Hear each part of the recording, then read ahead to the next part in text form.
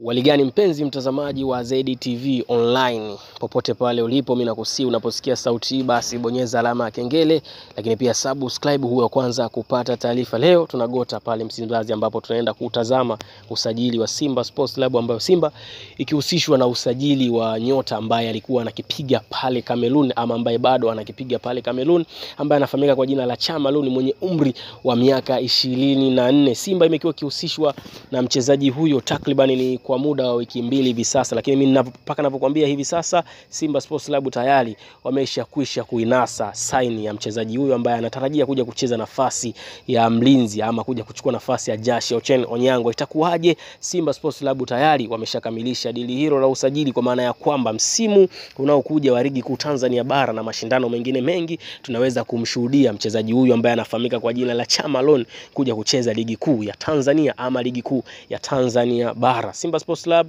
imekuwa ikifanya tetesi mbalimbali mbali pia na kuhusishwa na wachezaji wengine ambao tunatarajia kuona hivi karibuni na wenyewe pia watafika, lakini moja miongoni mwa wachezaji wazuri kuwahi kutokea kwenye ligi kuu Tanzania bara basi ni huyu Chama Alon. Ni kijana mdogo ambaye alikuwa anakipiga pale Cotton Sports ya Kameruni. Moja ya matukio makubwa ambayo ameyafanya hivyo katika klabu yake basi ni kuhakikisha kwamba hakuna kosa lolote la vizuizi ambalo yeye limesababisha kuweza kuhakikisha kwamba kila kitu haya kinakuwa haya, kwa upande wake sivyo ama sio kizuri zaidi. Simba wameshainasa saini ya mchezaji huyu, bado tu swala la kutangazwa, lakini pia Simba Sports Club leo imeachana na mchezaji wake ambaye alikuwa akiwapelekesha kimkataba sawa dogo.